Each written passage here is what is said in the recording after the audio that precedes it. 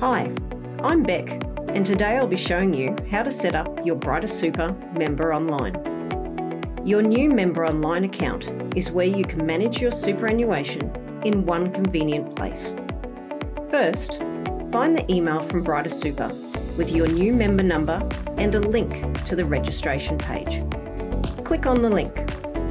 If you have not provided us with your email address, you will receive a letter from us with your new member number.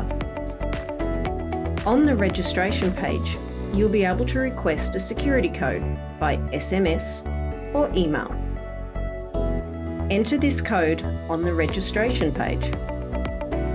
Then, enter your date of birth and postcode.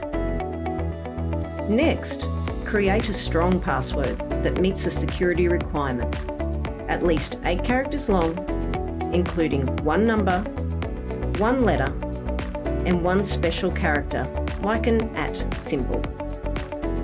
Finally, agree to Brighter Super's terms and conditions and click Register.